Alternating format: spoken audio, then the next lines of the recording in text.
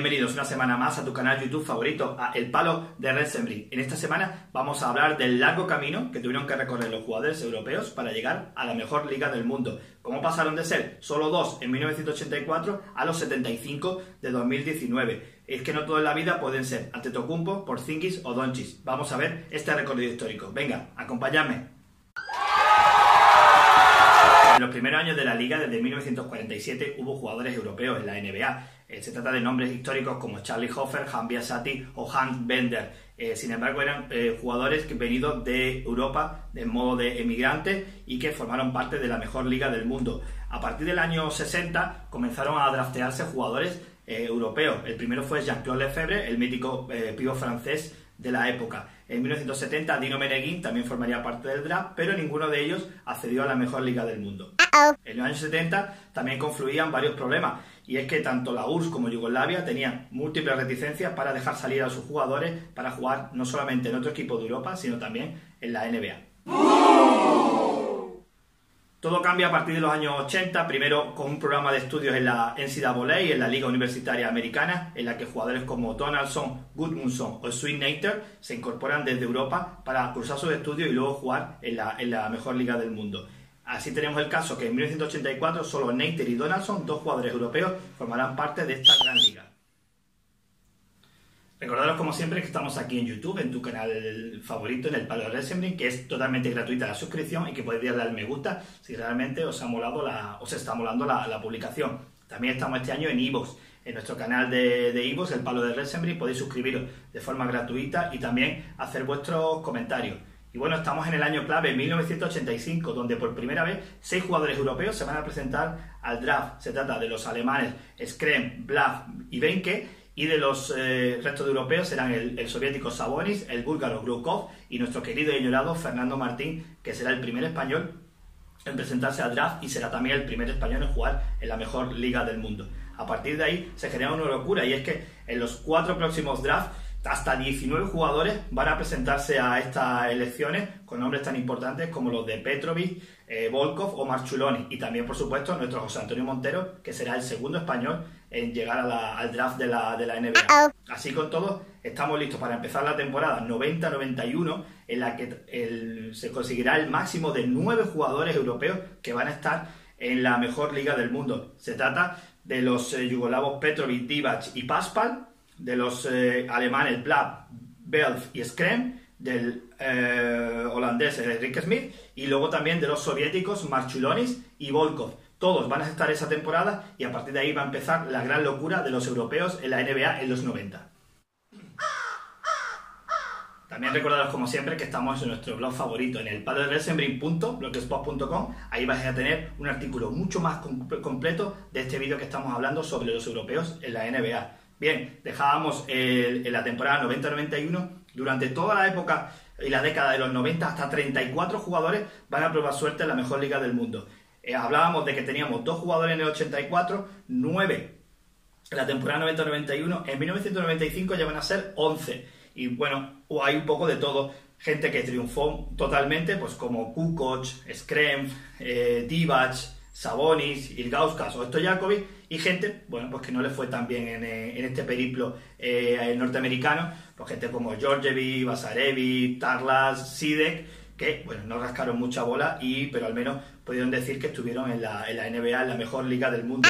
Eh, ellos abrieron definitivamente el camino, muchas franquicias empezaron a confiar en los jugadores europeos, fue una especie como de moda, todo el mundo buscaba ese santo grial, ese gran jugador franquicia, pero eh, para eso tenemos que pasar de siglo, tendremos que esperar al siglo XXI y será precisamente uno de esos eh, jugadores, Dirk Nowitzki, eh, que empezó a jugar en la NBA a partir del año 98, quien va a tener la llave de este nuevo futuro para los europeos.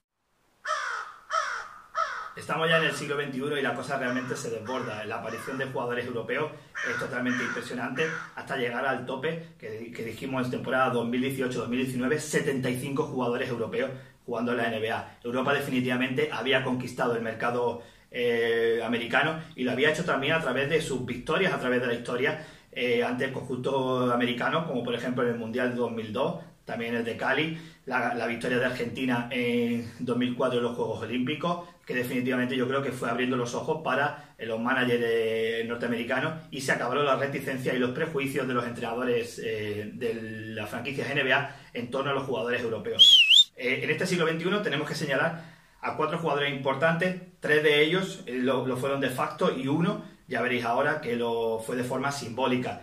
Este jugador de forma simbólica se trata de Andrea Bargiani, no de gran trayectoria en la NBA, pero sí pasa por ser el primer número uno del draft de la NBA siendo europeo. Lo hizo en 2006 y fue para Toronto Raptors, aunque como decimos su carrera no fue del todo brillante. El segundo invitado es nuestro Pau Gasol. Eh, primer que consiguió el premio a Rookie del Año, lo hizo en 2002 jugando para Memphis Grizzlies y luego, por supuesto, esa grandísima trayectoria de Pau Gasol al que le llevó a ganar dos anillos de la NBA.